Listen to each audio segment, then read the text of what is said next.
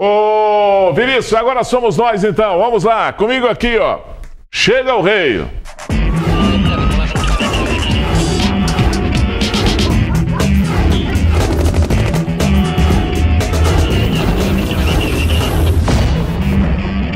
Começa agora mais um programa Gui Boa Ventura. Boa tarde, Gui. Olá, boa tarde para você. Estamos chegando mais uma vez na tela da sua televisão para mais um programa aqui Boa Aventura. A partir de agora vamos discutir com você a notícia.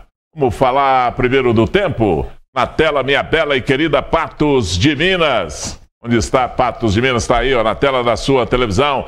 Céu parcialmente nublado, sol aparece entre nuvens, 25 graus, agora máxima de 27, a umidade relativa do ar girando em torno de 56%. Lagoa Formosa e vazante também com indicativos aí na tela da sua televisão. Pode vir aqui comigo. Telefone na tela, WhatsApp na tela, e-mail na tela, Facebook na tela, meu Instagram aparece aí na tela da sua televisão. E aqui, através do nosso WhatsApp, você fala diretamente com a nossa produção. Reclama, reivindica, manda o seu abraço, parabeniza o aniversariante do dia, faz perguntas para os nossos entrevistados, faz o seu comentário e participa do quadro Você é o Repórter. E para quem participa durante toda a semana, nós temos aqui para sortear para você na sexta-feira uma cesta recheada com produtos Copatos, um café Semil e para quem quiser concorrer a uma hidratação facial é só nos enviar a palavra magras, mas tem que escrever magras para concorrer, viu? E também tem dois ingressos para o segundo Boteco do Leão, realizado pelo Lions Clube Giovannini. O evento será no próximo sábado. Confira agora os destaques do programa desta segunda-feira com a dona Yandra na tela. Fim de semana prolongado violento em Patos de Minas. Adolescente é morto dentro de casa no bairro Quebec. No mesmo bairro, o jovem é vítima de tentativa de homicídio. Na Avenida Afonso Queiroz, homem que teria ido na casa de desafeto armado com uma faca acaba sendo esfaqueado e morre no local. Acusado de homicídio será julgado hoje. O crime aconteceu em 2016 no bairro Coração Eucarístico. Após denúncia no quadro Você é o Repórter, terreno da Algar em Areado passa por limpeza. E em parceria com a Prefeitura, Unimed inaugura a revitalização da Lagoa Grande.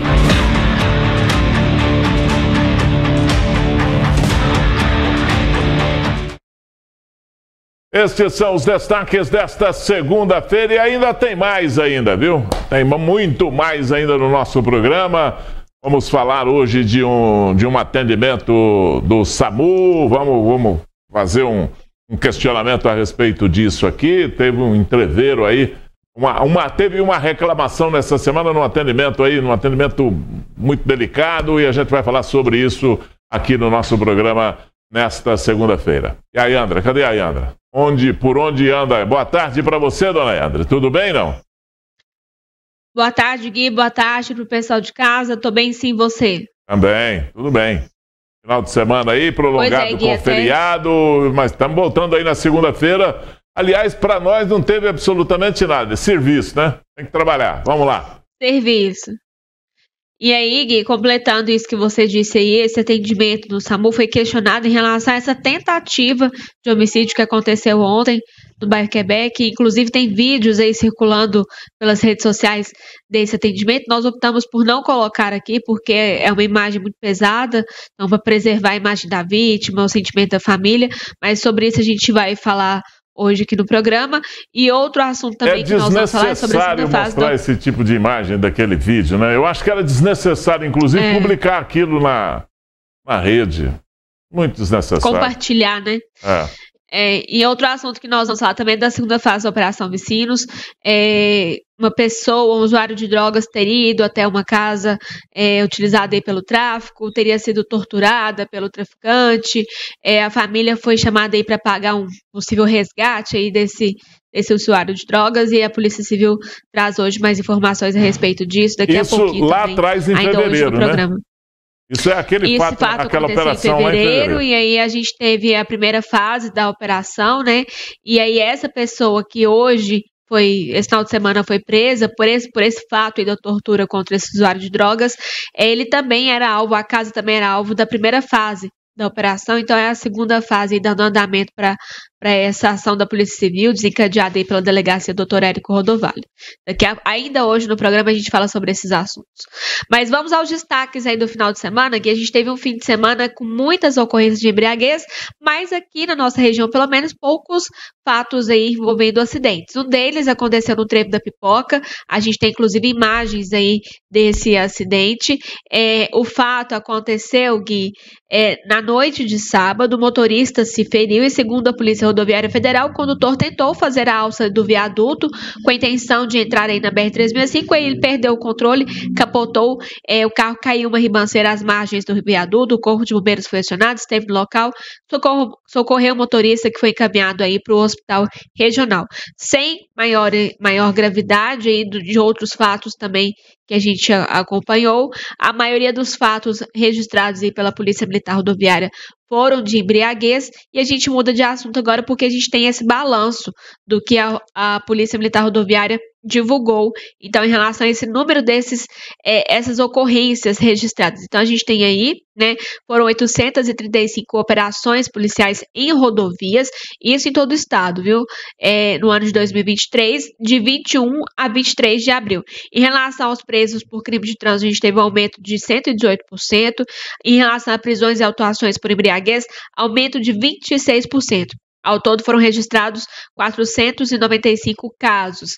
Nós temos então 23 operações de lei seca, foram 675 veículos removidos, acréscimo também de 218%, prisões por tráfico de drogas.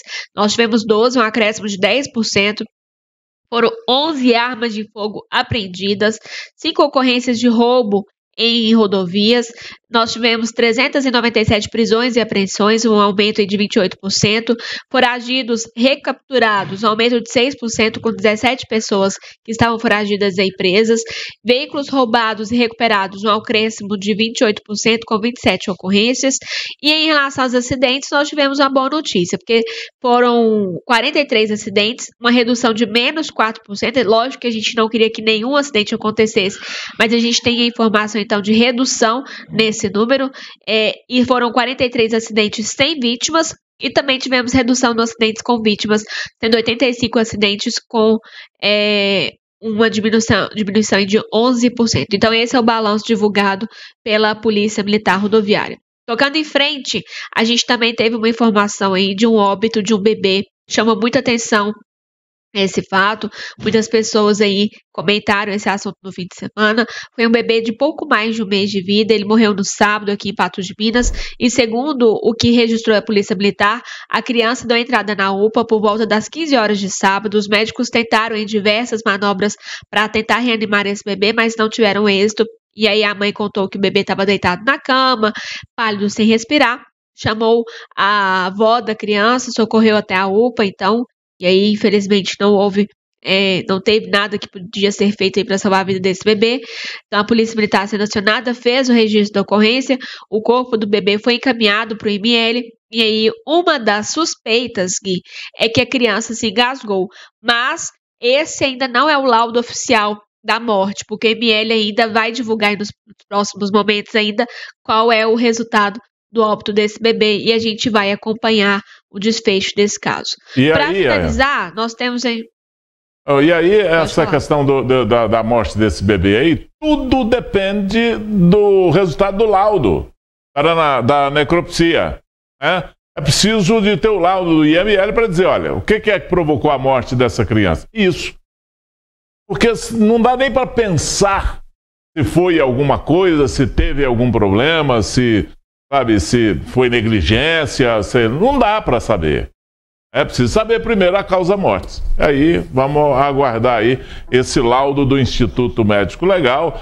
Foi realmente com a morte desse bebê um bafafá danado na cidade, porque não, não se sabia, supunha que ele tinha morrido engasgado, né? Mas a gente tem que ter o pé no chão para saber que a notícia é no tempo certo, né? É o negócio é no tempo certo e é o que a gente está fazendo aqui.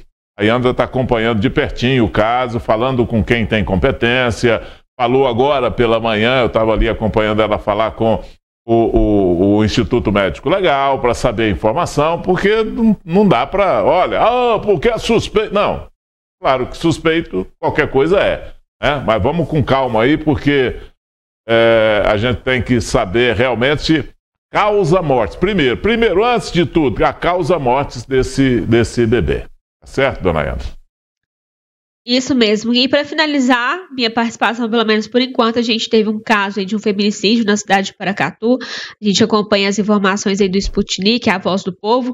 Esse caso foi registrado no sábado. O autor é identificado como Alessandro, 34 anos. Ele não aceitava o fim do relacionamento com a ex-companheira. Foi até o local de trabalho dela, em um supermercado no centro da cidade.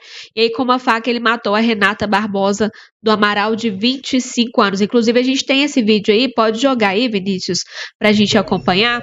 E aí, Gui, o que choca é que o caso aconteceu na frente dos filhos do casal. Uma criança de 6 e outra de 10 anos. Além disso, como a gente está vendo aí, tinha várias pessoas no supermercado que presenciaram a cena aí desse feminicídio. O autor fugiu em seu carro e aí ele se encaminhou até o batalhão da Polícia Militar, onde foi preso. Ele alegou que não conseguia mais viver sem a vítima e que tinha saído de casa determinado a matá-la. A vítima ele matou havia a faca, queixa, não foi isso, Ayandra? A golpes de faca. É, porque lá, lá a hora que começar faca. de novo o vídeo, você vai ver. É, ele vai entrar ali no, no, no, no, cantinho ali, você vê só a mão dele golpeando a mulher com a, com a faca, né? E o mais triste de tudo, na frente das crianças, né? Um negócio absurdo. Olha lá, a mulher estava em pé, chegou com a faca, é, golpeou a mulher com a faca, a criancinha tenta reagir, mas não, dá, não deu conta, não, nem podia, né? Você nem podia pedir isso para ela. Ela. E aí ele saiu, fugiu e foi embora. Absurdo isso aí. Crime ruim, hein? Feminicídio ruim na cidade de Paracatu, viu, Ayandra? Pois é, Gui, a explicação, né? Saiu de casa determinada a matá-la porque não conseguia mais viver sem ela, mas não pensou nos filhos que vão ter que viver sem a mãe. E aí, Gui, a informação para Sem a mãe e sem ele, né? É de que a. É, que agora ele vai ficar preso, a gente espera isso, hein? né? E a informação é que a vítima havia prestado queixa de ameaça contra o ex-marido no dia 13. Então, o crime aconteceu dia 22, menos de 10 dias aí depois dela registrar esse crime de ameaça. Ele ataca ela na época, e ela disse que já era vítima de violência doméstica, mas que nunca tinha procurado a polícia. E aí, diante disso, terminou o relacionamento e ele ameaçava ela porque, segundo ele, o que ela alegava aí nessa nesse registro da ocorrência que as amigas dela teriam feito a cabeça dela para sair do relacionamento. Mas ainda bem, né, que essas amigas fim foi péssimo, fim muito ruim, a gente não esperava isso, mas dizem que briga de marido e mulher não se mete a colher, mas eu acho que diante das coisas que a gente tem visto aí, mete sim, faz denúncia sim, e é que a gente espera que, que esse fim não seja trágico como o que a gente acompanhou aí dessa, dessa vítima, Gui. É verdade. Assassinato, feminicídio na cidade de Paracatu. Aí, André, a qualquer momento você volta trazendo mais informação aqui no nosso programa, acompanhando o que está acontecendo. Daqui a pouco nós vamos falar também a respeito desse negócio do SAMU. Parece que o pessoal é, concordou em nos dar uma entrevista, falar sobre esse assunto, até mesmo para a gente explicar é, como é que é esse atendimento, o que está certo, o que está errado, que jeito que é, como é que é que acontece isso aí. Né? É isso? O pessoal vem dar entrevista pra gente. Isso né? mesmo, Gui. Combinado. Daqui a pouco a gente vai receber três profissionais aí envolvidos com o SAMU aqui em Patos de Minas que vem falar sobre esse fato em si e de outras situações envolvendo o SAMU na cidade. Ah, muito bem. A Yandra volta a qualquer momento aqui comigo, porque agora é hora de falar da Clínica Odontológica Medic Mais. Aqui comigo doutor Tiago veio falar hoje sobre implantes. Aliás, é o seguinte, doutor, essa posição de ser referência em implante, né, a, a, que é a posição hoje da, da Clínica Medic Mais, porque hoje ela é, é, é referência. Né? Falou implante, tem que lembrar primeiro da clínica odontológica Medic Mais, Mais. Não é isso? Isso mesmo. Como é que é essa posição aí? Pois é, nós viemos construindo isso, né, Gui? Então, nós já estamos aqui é, no mercado de patos aí é, aproximadamente 15 anos, né? Então, como referência na odontologia. Né? E o implante hoje, ele é uma realidade, né? Porque antes o implante ele não era acessível, né? Hoje a gente consegue acessibilizar um tratamento de ponta, né? Para quem quer ficar livre da prótese, né? Quem quer ficar livre ali daquele rote. Pessoas, né, que tem outros motivos também, acidentes, né? Alguma coisa que faz você levar a perda de um dente. É, mas Aquela odontologia antiga era do dente do, do eu, era remover o dente. Né? Então, tem muitas pessoas nessa condição. Está faltando um dente, dois, cinco, dez, falta todos. Né? Então, nós tornamos referência por quê? Primeira coisa, é a garantia que o paciente tem. Agora, o mais interessante é que a clínica odontológica médica mais não fantasia Sim. esse tipo de tratamento, Sim, né? Isso. Ela trata com muita, com muita seriedade essa questão do implante, né, doutor? Isso. Primeiro que é saúde, né? Você está lidando com, com, as pessoas, né? Você lida com, com um ser humano, né? então você tem que observar ele como um todo. Né? Então, o implante, ele é um procedimento cirúrgico. Né? Então, ele tem que observar, né? Então, as questões é, históricas de saúde do paciente, tá? Mas é muito pouca restrição que envolve, né? Na, no caso do implante. E também, como nós temos aí todo o apoio também, né? De, de, de equipe médica, quando você tem uma intervenção, ah, com endocrinologista, uma, uma glicose alta, uma pressão alta, é, alguma disfunção, alguma alteração, então a gente trata isso como uma equipe multidisciplinar. Então, o paciente, é, é, graças a Deus, não tivemos nunca nenhuma intercorrência, né? então são mais de, de, de 6 mil implantes instalados, né? então nós temos isso em registro em sistema. É, nosso atendimento hoje, somente na parte odontológica, mais de 40 mil atendimentos, ali, mais, 40 mil pacientes. Então é uma, é uma referência realmente ali. É, então, uma equipe é, constante com a gente ali, uma equipe fiel, né? Então, o paciente tem essa, essas, essa, essa segurança de estar ali com a gente, né? Além de toda essa estrutura técnica em relação à questão do implante, tem a questão, tem o, o mais saudável, né? Que é Sim. o bolso, a negociação é muito fácil. A negociação, isso, porque você tem que acessibilizar, né? Levar isso aí ao alcance da pessoa, né? Então nós temos ali parcelamentos direto com a clínica. E hoje, Gui, eu trouxe, né? Depois eu pedi a, a, a Yandra aí na diretoria para colocar. Eu trouxe esses vídeos, né, para as pessoas acompanhar. Né, e a gente mostra esses vídeos lá. Então, esse caso aí é um protocolo e você coloca, né, a partir de quatro implantes. Então, é uma prótese fixa ali, né? Eu só conheço como dentadura fixa, mas o nome dela é um protocolo. Então, tem outra sequência, né, que vai abrir uma sequência de imagem também. No caso ali, ó, a inferior. Então, esse caso é um, um caso que você faz com porcelana também. Né? É possível fazer um protocolo sobre com dentes de porcelana, né, que vai ser fixo ali direto ao implante. Aí mostrando, né, como que se faz o implante, né, no caso do paciente de perder o dente, vai fazer aquela lojinha ali no, no osso. O pessoal acha que ah, isso aqui é muito profundo. A média dos implantes tem um centímetro, né? Se você pegar uma réguinha e você vê que um centímetro ele é muito pequeno, o pessoal acha que é, é grande o implante, não é, né? Porque a animação parece maior. Então, ele vai ali, depois vai o parafuso, fixou, depois vai o dente preso em cima do implante. Tem um tempo da ossa integração. Então, esses vídeos nós temos disponível. Todo paciente que vai lá na clínica e precisa, a gente coloca a animação ali para ele ver como que vai ser feito. É, aquilo ali é um, componente onde vai. Depois vai o dente de porcelana, nesse caso unitário. Então, isso aí você tem toda essa informação. Aí, como que parafusa, né? Realmente o protocolo ele é fixo. Dentro dessa prótese, ela tem uma barra de metal que é soldada a laser ali. Né? Tudo com muita precisão, não pode não pode ter um milímetro de, de diferença, de folga, né? Então ela é muito precisa ali, as, as, as moldagens, as técnicas e as fixação. Então a paciente é isso aí. Se precisou né, do implante, a gente vai mostrar caso unitário, caso múltiplo. E essa semana nós estamos aí finalizando o mês. Abril, vai ter o plantão do implante, né? Na quinta-feira.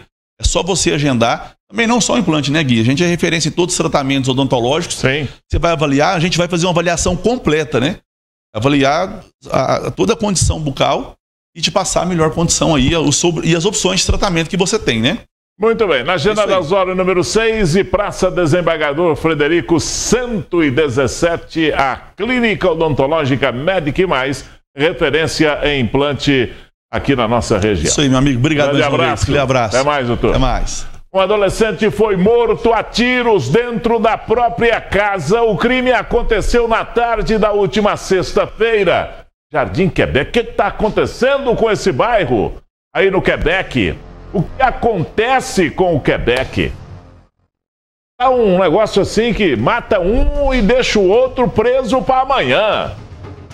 Que negócio é que está acontecendo aí com, com, com, com o Quebec, meu Deus do céu?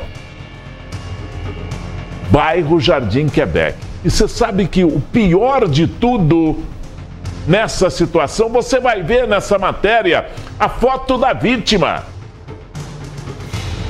Uma criança. Ah, é um adolescente. Não, é uma criança. É uma criança.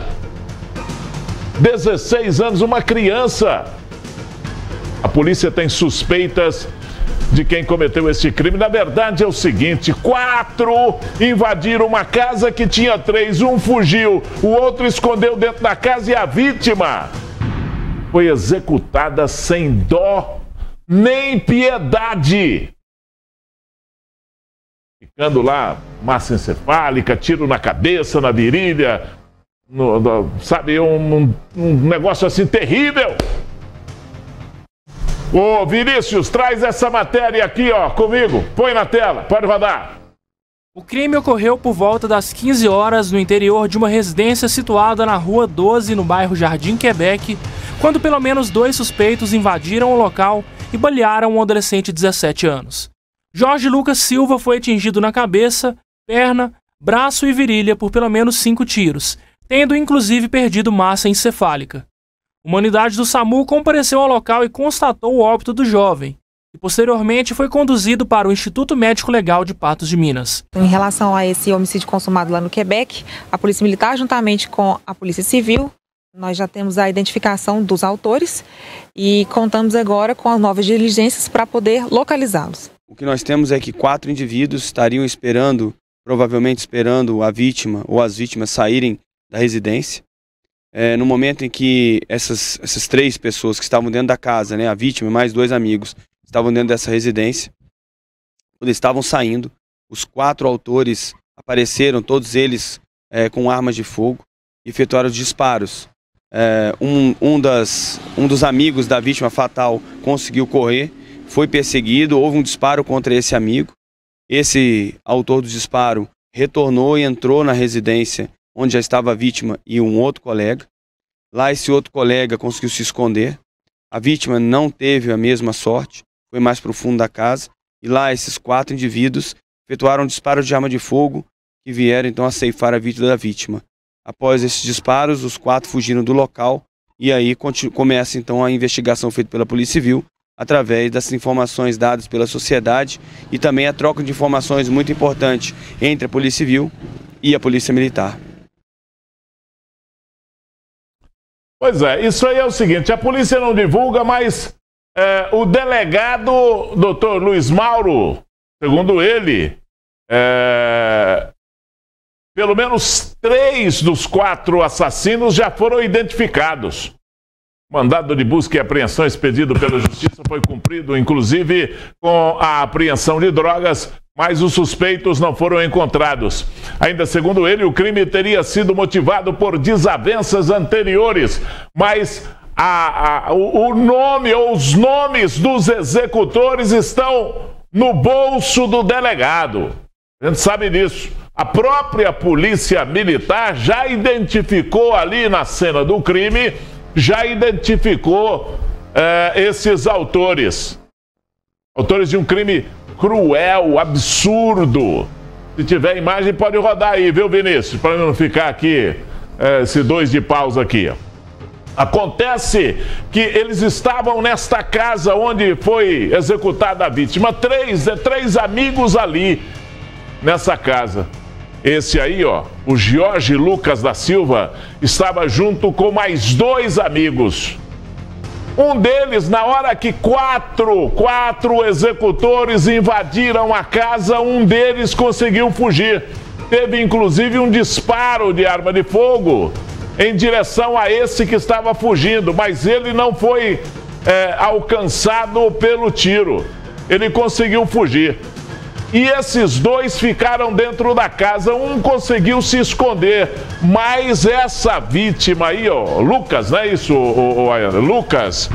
Jorge Lucas Silva, esse não conseguiu se esconder. Foi para o fundo da casa e aí os quatro, não se sabe se todos eles atiraram, se foi só um que atirou. Verdade é que atiraram de revólver, porque não ficou nenhuma cápsula lá registrada, não foi registrada a presença de nenhuma cápsula lá no chão, então atiraram de revólver, mas eram quatro que estavam dentro da casa, junto com a vítima, para executá-lo.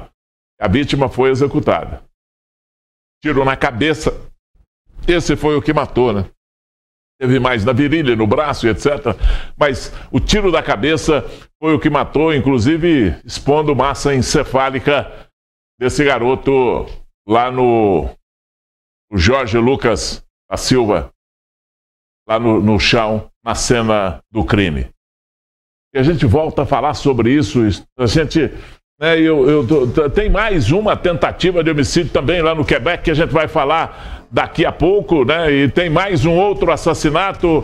Outro assassinato é quase uma criança também do outro assassinato, porque é mais uma pessoa de 23 anos. A menina que foi na tentativa de homicídio, a gente vai falar daqui a pouco também, é menor de idade. E esse Jorge Lucas, 16 anos apenas.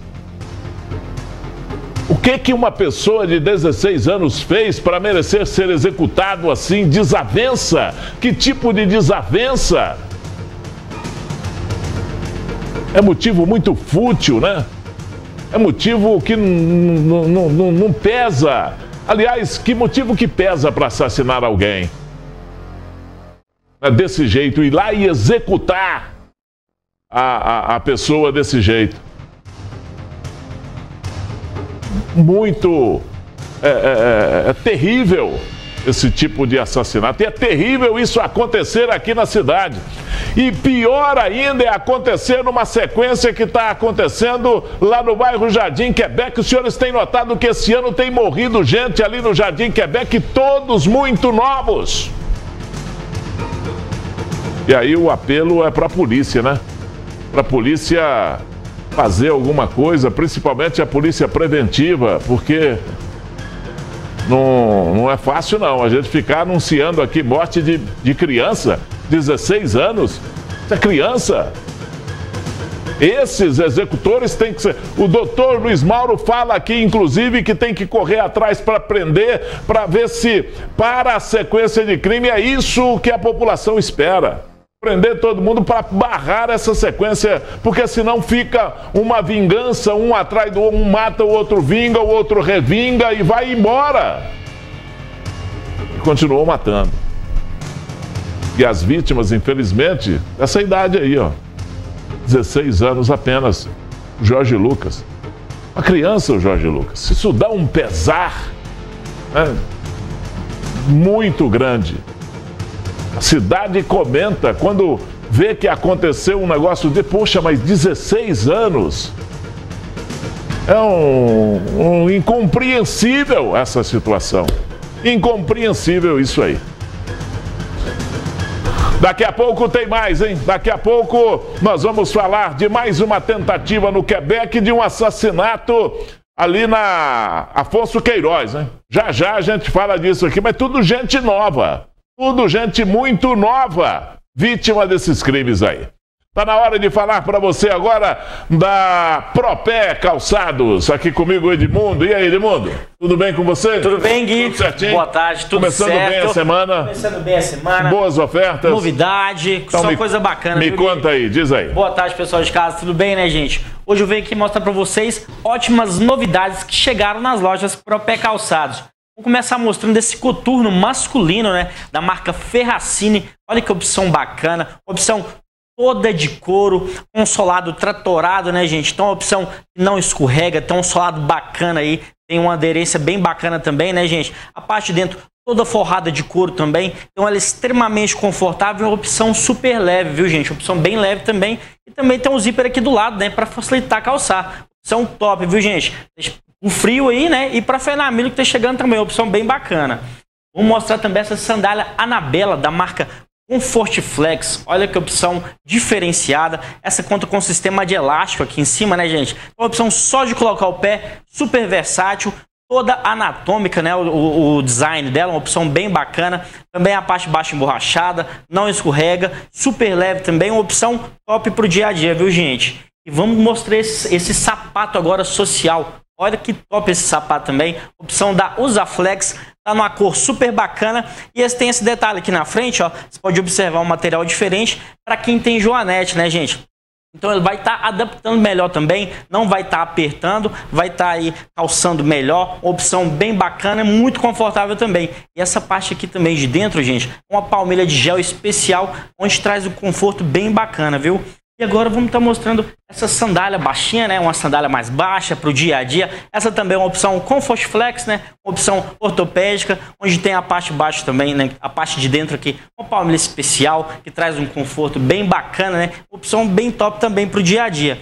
E por último, está mostrando essa papete Beira Rio, gente, que tá na moda aí. O pessoal tá gostando bastante. Uma sandália ó, diferenciada para estar tá saindo.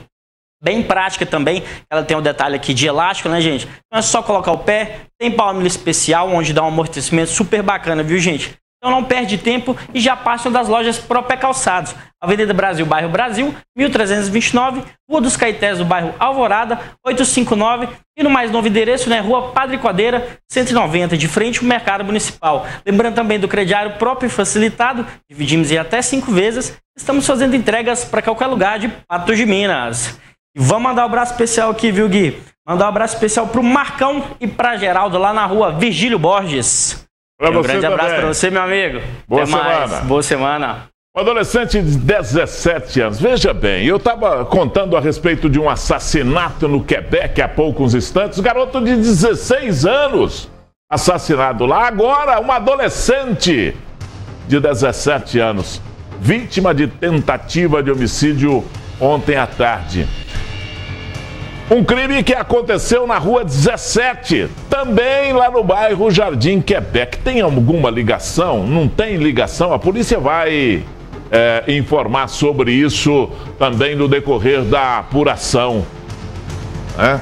Se tem alguma ligação do crime do, do, do Jorge Lucas com esse dessa, dessa menina que foi atingida por cerca de quatro tiros numa tentativa de homicídio também no bairro Jardim Quebec. Uma sequência de gente nova perecendo naquele bairro, né?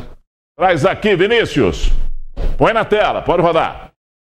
Recebemos algumas informações, inclusive nem foi no 190, né? Foi através de amigos que moram no bairro mesmo que informaram que o SAMU estava prestando socorro a uma pessoa que teria sido vítima de disparos de arma, né? A gente foi para lá, isolou o local lá, a vítima já havia sido socorrida. É, aparentemente, ela tomou dois tiros na cabeça e dois no abdômen. Ela passou por cirurgia e está em estado estável no, no, no regional. É, lá no local lá a gente poucas informações que a gente conseguiu levantar a população lá do bairro Quebec é, com bastante receio de falar sobre o assunto, né? É, nós temos algumas informações e estamos analisando algumas imagens próximas lá para tentar identificar esses autores. A informação que a gente tem era, era que foram dois autores. Uhum. É, a gente não tem maiores informações além disso. É, foi distante da casa dela, na, foi na antiga 21, lá no Quebec ela estava passando próximo a um ponto de ônibus e os autores surpreenderam ela lá. Tem algumas marcas de tiro, inclusive lá no muro, né? Então a gente acredita que eles passaram e efetuaram esses disparos. Ela tem alguns envolvimentos, alguns registros em algumas ocorrências, alguns. É, esse, o, ano, o, ano, passado ela tem alguma uma ocorrência que ela é, ameaçou um cidadão lá do bairro mesmo. Nós fizemos diligências é, nesses registros mais recentes, né? Tentando linkar essas ocorrências a esse fato de hoje. Até o momento nós não conseguimos.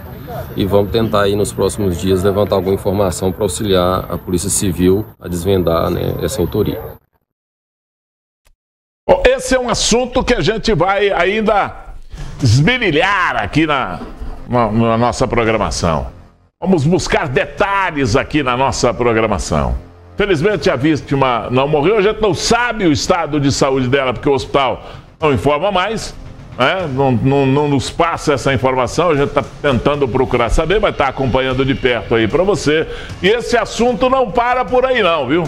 A gente volta nesse assunto, vamos acompanhar dessa tentativa de homicídio, vamos ver o que apura a polícia investigativa, né, a polícia civil sobre esse assunto. Vamos ver no que dá e você fica aí com a gente que nós vamos acompanhar de perto para você e ainda tem mais esse outro assassinato que aconteceu aqui em Patos de Minas, lá na Afonso Queiroz.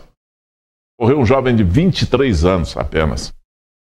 Desavença. Olha só, desavença. A procurar um sítio de faca, sabe? Briga de faca, dois de faca.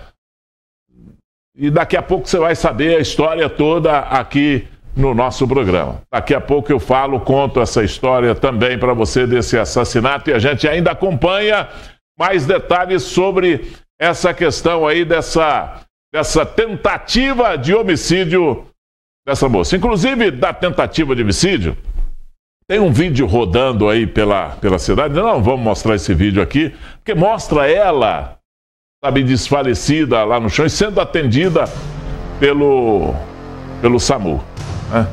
E há um questionamento a respeito do, do atendimento do SAMU.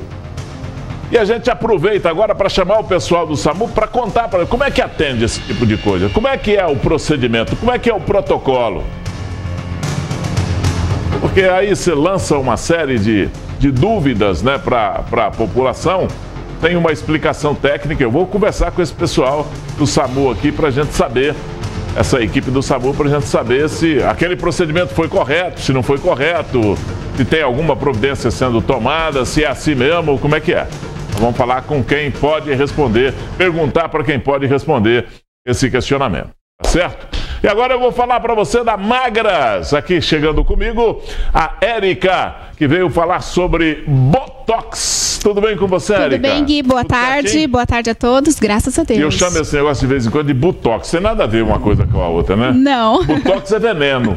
É um né? veneno, exato. É? Uhum. E Botox é essa. É a toxina é que a, a toxina. gente aplica no rosto. Exatamente. Para ficar lisinho né? Para não, não enrugar, para não ter ruga, para não ter. Ah, você está preocupado? Não, tô não, porque não, você está enrugado. É só tá disso. faltando fazer o botox, né? Tá faltando fazer o botox. Diga é aí. só dar uma atualizada. Bom, eu trouxe para vocês hoje para a gente falar um pouco sobre o botox, né? Que realmente não são aquelas rugas, elas não precisam estar no nosso rosto. Até trouxe a imagem hoje de um cachorrinho, olha que bonitinho. Não é mau humor, viu, gente? É só falta de botox. Porque às vezes a gente está ali com a cara fechada, com aquelas ruguinhas aparecendo. Então pode fazer um botox que tudo isso melhora. E a gente colocou uma enquete também lá no Instagram, que aí você pode responder qual que é a sua faixa etária, né? Pra gente ver que tipo de botox que você precisa fazer. Se você tá ali na casa dos 25, 30, 35 anos, você vai estar tá trabalhando ainda um botox preventivo. Como a gente mostra na próxima foto, a parte do botox preventivo ela é boa para quê? Para aquelas ruguinhas mais fininhas que a gente precisa realmente tirar. Ah, não, Érica, eu já estou na casa ali dos 35, 40, as minhas rugas elas já estão mais estáticas, já está aparecendo um pouquinho mais. Eu não estou ainda como o cachorrinho da foto, mas a minha ruguinha está aparecendo. Então a gente vai fazer já um botox trabalhando essas rugas estatísticas. E acima dos 45, quando realmente a gente começa a ficar com a pele mais caída, a gente perde também a elasticidade, a gente vê parecendo assim que está tudo caindo, né? Tá derretendo. Então a gente precisa estimular e trabalhar o botox também. Então tudo isso dá para ser tratado tanto para os homens quanto para as mulheres. Os resultados são maravilhosos. A gente tem fotos, né, de antes e depois também também para mostrar falando um pouquinho. Aqui a gente tem dois procedimentos feitos, tá? Com essa foto.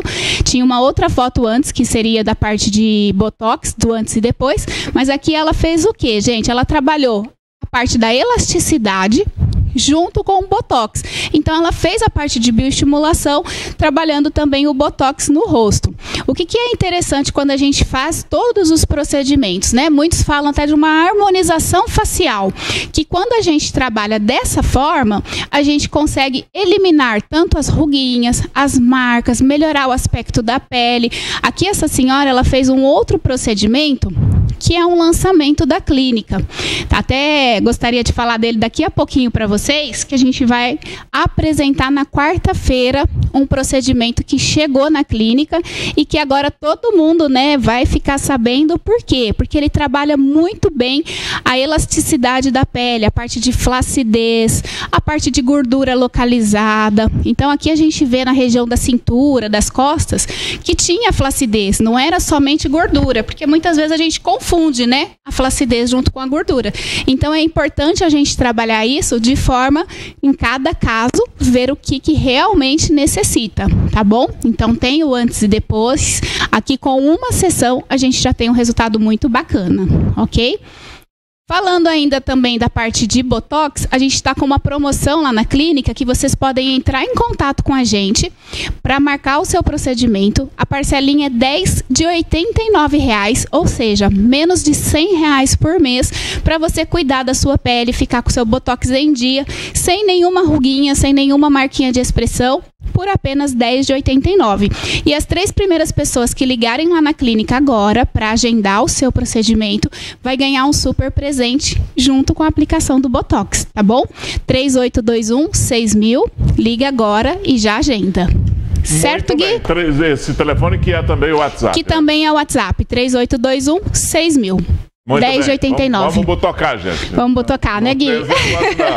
Aproveita. Ah, não, não, não. ah, porque eu ainda não tenho. Então vai lá. Vai lá e faz uma preventiva. Isso né? mesmo, Pra isso pra mesmo. ter- Já faz a preventiva. ruga lá na frente. Nenhuma ruga lá na frente e com o rosto todo bonito, para onde quer que você vá, você vai estar sempre bem e com uma aparência muito boa. Além de trabalhar as rugas, você mel- melhora a elasticidade da pele, também tendo uma visualização, né, muito mais formal do seu rosto. Obrigado, certo. Gui? Obrigada. Até mais. Até tchau, tchau.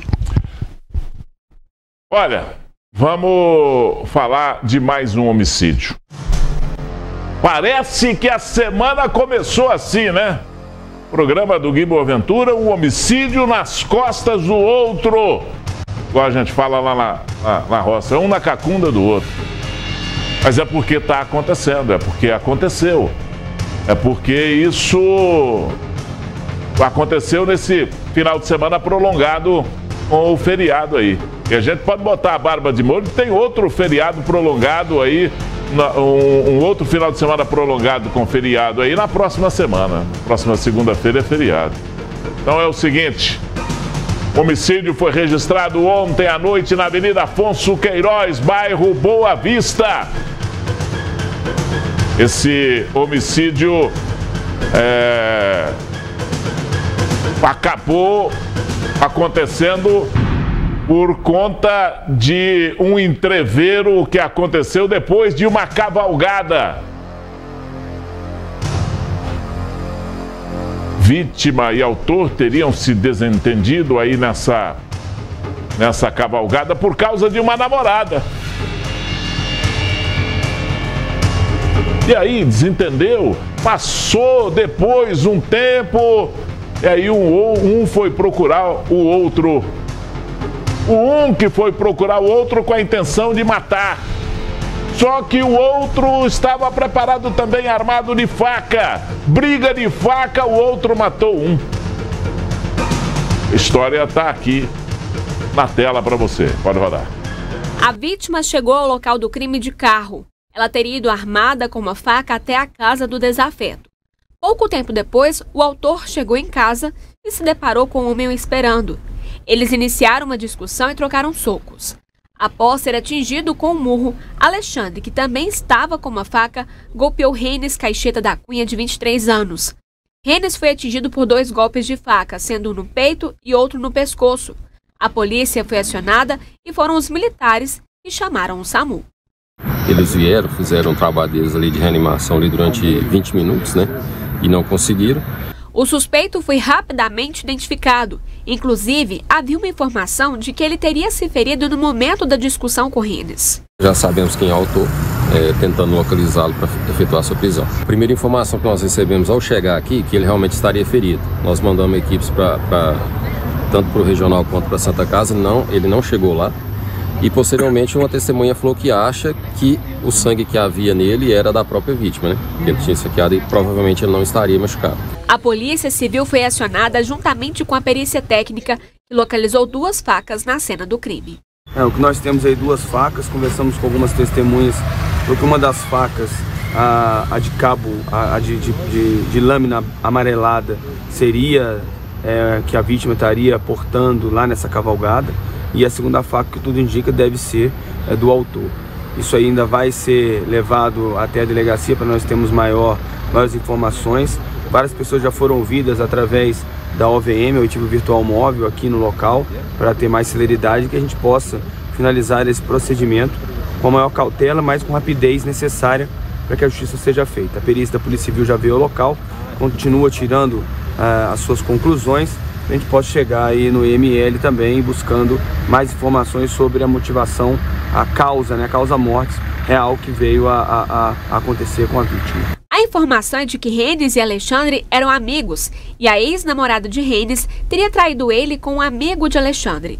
Desde então, os dois estariam se desentendendo. É cedo ainda para nós finalizarmos o motivo, mas já temos algumas informações que a vítima e o autor tinham algumas, alguns, algumas conversas mais fortes relacionado a uma, uma ex-namorada de um deles. Essa situação parece ter levado a discussões anteriores, a situações de até de discussões mais acaloradas e na data de hoje eles estavam numa, numa cavalgada onde se encontraram naquele local e teria ocorrido novamente essa, essa situação de passar é, mensagens de ameaçadoras. A vítima então veio até aqui ao local e ao que tudo indica ela desceu do veículo. A vítima e o autor começaram a brigar, discutir em socos e em determinado momento é, o autor teria sacado de uma faca e teria desferido uma facada na vítima, vindo então a vítima cair no local. Esse é o primeiro momento, logicamente nós estamos ainda iniciando as investigações, existem outras situações que possam ser levadas em consideração, mas a gente requer um pouco mais de cautela nesse momento da investigação para não atrapalhar a própria, a própria sequência dos fatos e chegarmos então com muita claridade a quem fez, a motivação e também eventual prisão desse indivíduo, caso assim seja o acompanhamento pelo Poder Judiciário. Diligências foram realizadas para localizar o suspeito. É, após o fato ali, parece que ele aguardou alguns minutos ainda a chegada do amigo dele aqui no local, conversou com alguns familiares. Então, se a gente tivesse tido uma informação um pouco mais rápida, talvez a gente teria chegado aqui e efetuado a prisão dele aqui no local ainda. Tinha um amigo dele aqui, no local que nós já fomos na casa dele. E a mãe desse amigo já nos passou algumas informações e a gente está tentando fazer diligência para localizar ele. Ainda durante as diligências, as autoridades conseguiram contato com o autor.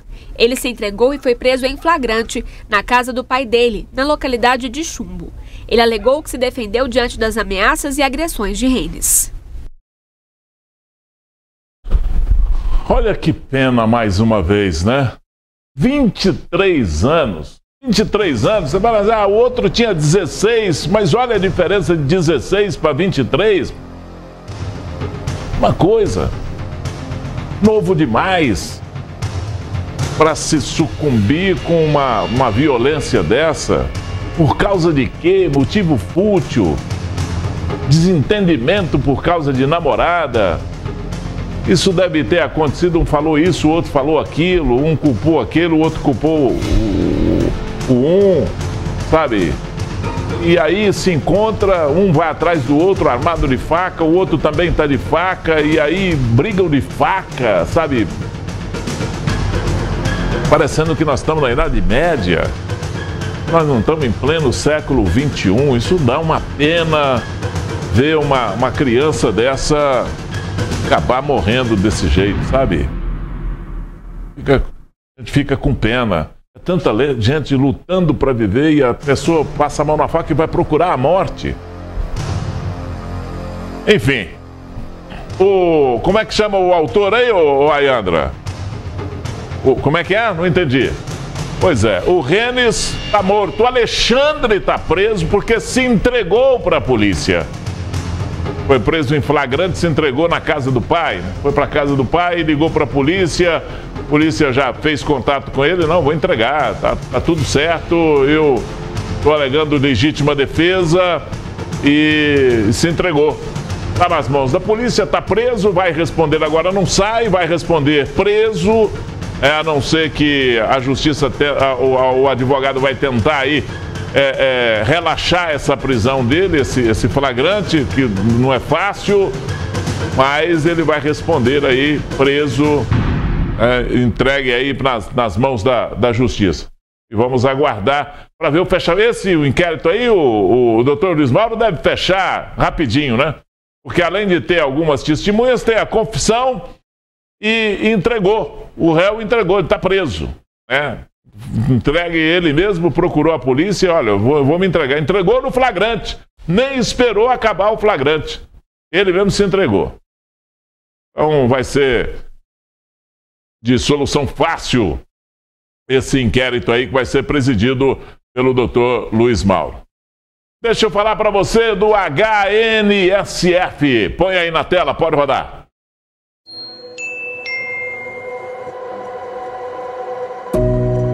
Você sabia que o coração é o motor que faz o nosso corpo funcionar? Por isso, é fundamental cuidar bem dele. Na cardiologia do HNSF, contamos com uma equipe médica especializada em cuidar do seu coração, através de um atendimento que é referência. Contamos com alta tecnologia para garantir um diagnóstico seguro. No HNSF, temos diversos tratamentos e procedimentos disponíveis para cuidar bem do seu coração.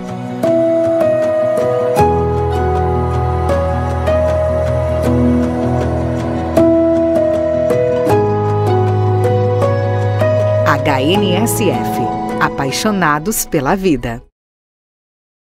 A cardiologia do HNSF é referência em cuidar bem do seu coração.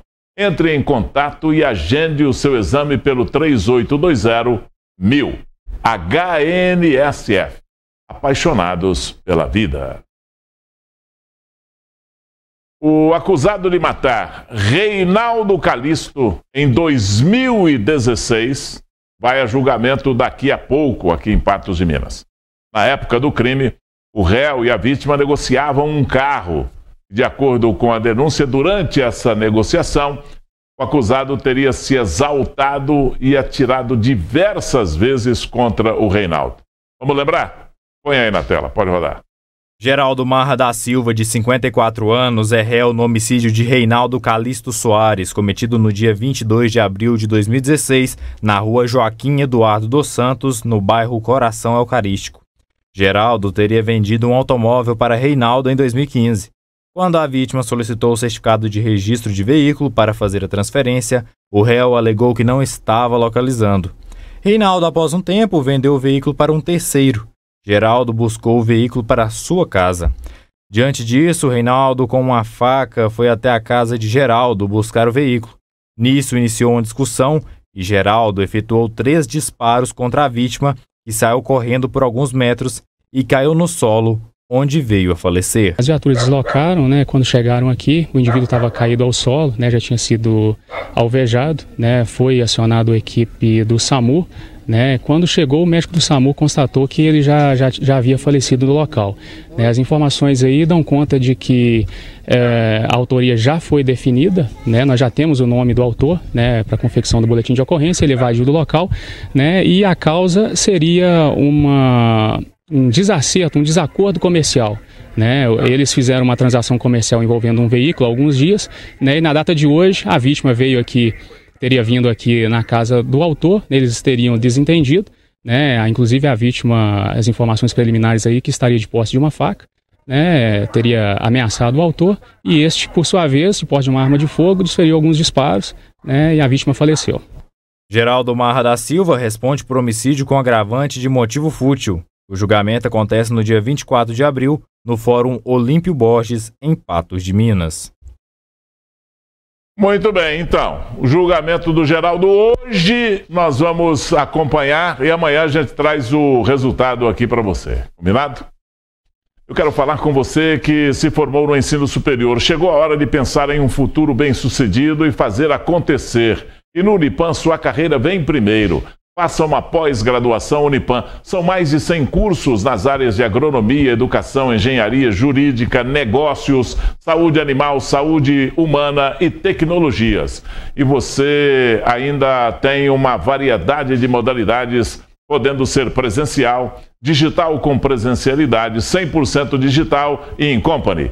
Com certeza, o seu curso está no Unipan. Esta oportunidade é tudo o que o seu futuro precisa. Matricule-se já. Descontos de até 20%. Consulte condições em pós.unipan.edu.br. Unipan, educação que transforma. A Casa das Meninas em Patos de Minas realizará no próximo domingo uma ação para ajudar a manutenção da entidade. Um almoço em um sistema drive-thru né, que vai acontecer. E a irmã Marcelina Frederica, falei certo, irmã? Frederica, que é diretora da, da Casa das Meninas, e a Kellen Cristina, do setor de telemarketing, estão aqui para a gente falar sobre esse almoço. E aí, irmã, tudo bem? Prazer te receber aqui. Obrigada. E bom te conhecer. Eu desde que eu cheguei aqui assisti seu programa, eu já amei. Ah. Sou irmã Marcelina, sou natural da Ásia, da Indonésia. Hoje pertence à congregação das irmãs discípulas de Jesus Eucarístico nós que conduzimos hoje a Casa das Meninas. Que bom, que bom. Tudo bem, Kelly? Tudo bem. Preparada aí para vender muito ingresso aí? Com certeza, desde sempre. Então tá bom. Irmã, como é que vai ser esse almoço lá? Esse almoço vai ser no domingo, começa a partir de 10h30, na modalidade drive-thru, essa palavra chique, né? Então, assim, as pessoas que querem uma comprar o ingresso, tem que ligar na nossa casa e pedir e fazer o seu pedido.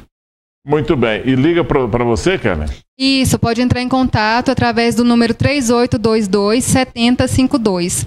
3822 7052. Esse número está aí na tela ou não? 3822 7052. Você liga né, e está aí na tela. Está aí na tela o número. Você vai ligar e vai, é, vai falar com a Kellen lá e com as outras. Tem mais gente lá também isso, atendendo, né? Tem, isso, tem várias pessoas já, já faz a reserva, é, passa lá, é fácil passar lá e pagar. E como é que é que faz? É melhor adquirir o ingresso antes, porque chega, entrega o ingresso e já pega o marmitex. Tá bom, e como é que é o processo? Eu ligo lá, falo, eu quero um almoço para domingo. E aí? Nós entregamos.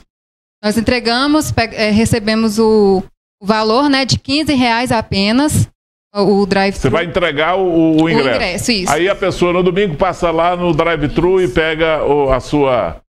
A, a, o seu o almoço. seu almoço de domingo. É o marmitex, né? Isso. Muito bem. O que, que vai ter nesse marmitex, lá, irmã?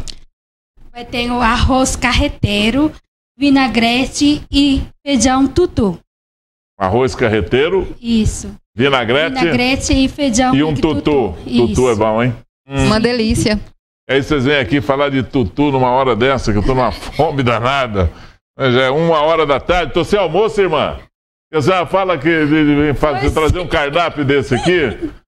Mas é bom. Então convocar todo mundo, porque além, além do almoço, né, além do almoço, o que mais é importante nessa sua atitude é ir lá colaborar com a Casa das Meninas, que precisa dessa sua ajuda, que precisa fazer essa arrecadação para manutenção da casa, né, irmã? Sim, com certeza. A gente sempre conta com a solidariedade da população daqui.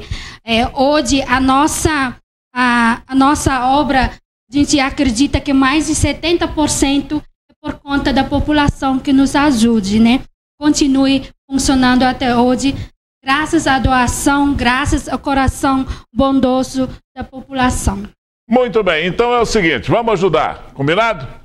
Vamos ajudar, passa lá, compra, liga lá no telefone está aí na tela, anota o telefone 3 é, 38 deixa eu chegar aqui para ver, 3814 4816. É esse o telefone?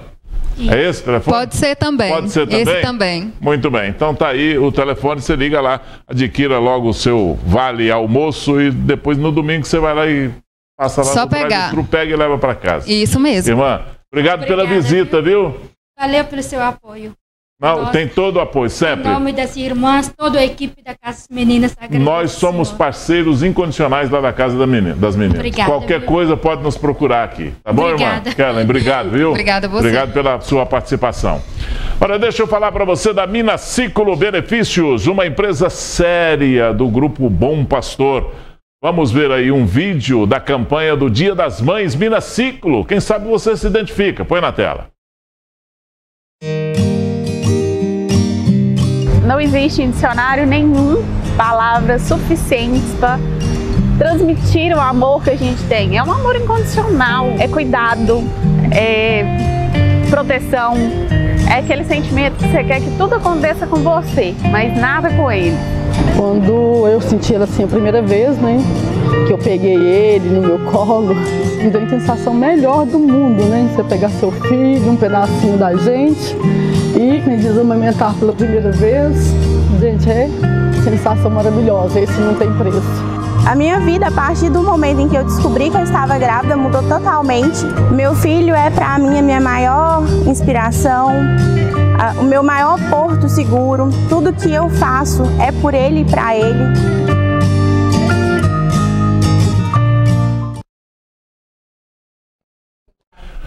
Olha, é o seguinte, é, você viu aí, né? É uma campanha pro me... não é nem para o Dia das Mães, é para o mês das mães, né? Você deve acompanhar aqui, vai ter promoção. E assim, a Mina Ciclo, ela começa é, sempre com uma promoção, mas de repente apresenta aí quatro, cinco, uma nas costas da outra, uma na sequência da outra, né, fazendo um mês de promoção aí para o mês das mães. Tá certo? Fique atento aí. Minas Ciclo Benefícios. Ah, deixa eu ir lá para o nosso WhatsApp. Você falando comigo na tela da televisão. Vem aqui, fala comigo. Amanda, olá Gui, boa tarde. Manda um abraço para o meu marido Jean. Pablo, diga que estou com saudades e que amo muito ele. Tá dito aí, ô, Amanda, tá dado o seu recado. A Deise, boa tarde Gui, boa semana para todos nós. Obrigado, Deise. Um abraço.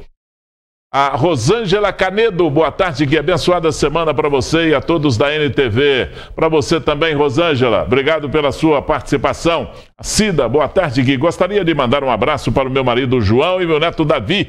E também desejar uma ótima segunda-feira a todos vocês. Para você também, Cida. Obrigado, viu? Obrigado pelo carinho. A Shirley, boa tarde, Gui. Você está muito elegante hoje. Ótima semana para todos da NTV. Obrigado, Shirley. Bondade sua, mas.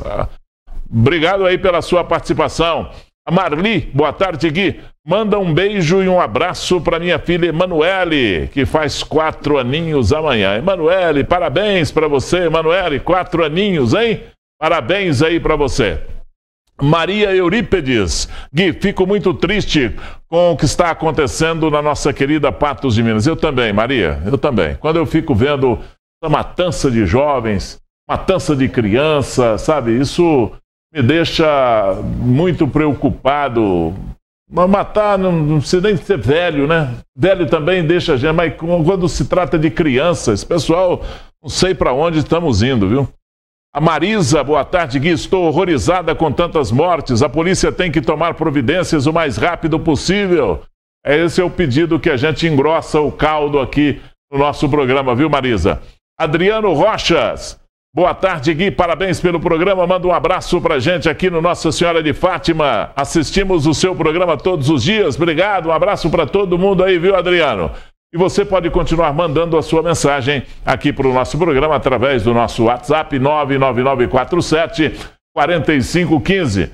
Você manda a sua mensagem e a gente vai para cá, para a tela da televisão, para conversar com você. Combinado? Comprar na Farmácia Nacional é muito fácil para você economizar tempo e frete. A Farmácia Nacional disponibiliza o serviço Clique Retire.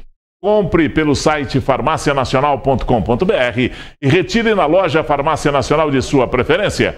Adicione os seus itens no carrinho e aproveite. Farmácia Nacional é muito mais vantagens, preço baixo, qualidade, comodidade, agilidade. Seis lojas em Patos de Minas para melhor lhe atender. Farmácia Nacional faz muito bem. Se faz bem, a Farmácia Nacional tem. Está circulando aí nas redes sociais um vídeo que mostra o socorro prestado pelo SAMU a uma vítima de tentativa de homicídio lá no bairro Quebec, assunto que nós já apresentamos também aqui no nosso programa.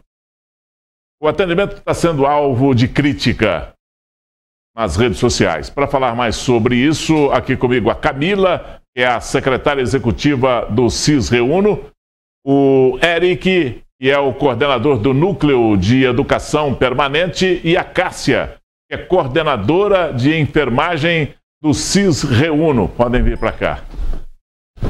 Recebendo o pessoal aqui do SAMU, você é? Sou a Cássia, boa tarde. Tudo bem? É Kátia ou Cássia? Cássia. É Cássia, Cássia. Isso. Tudo bem com você, Cássia? Tudo. Prazer te receber aqui. Prazer é meu.